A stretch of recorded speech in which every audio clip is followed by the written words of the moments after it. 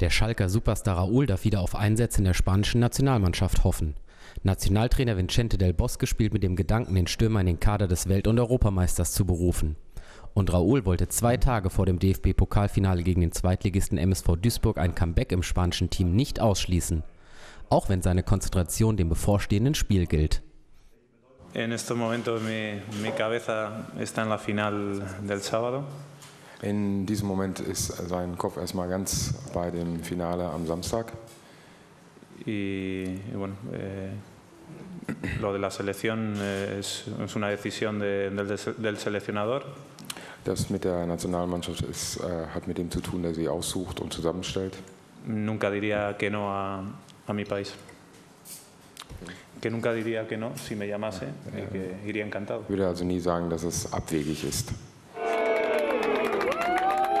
Nach seinem Wechsel von der Ersatzbank bei Real Madrid in die Herzen der Schalker Fans konnte der Spanier also wieder im Nationaltrikot auflaufen.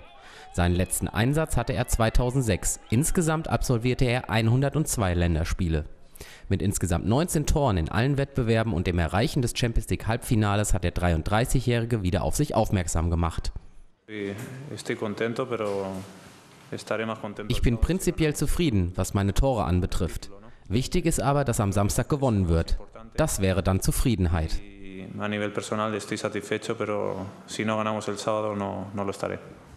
Mit Toren im Pokalfinale könnten die Chancen Raúls weiter steigen. Außerdem würde der Spanier mit einem Sieg erstmals einen nationalen Pokal gewinnen. Tschüss.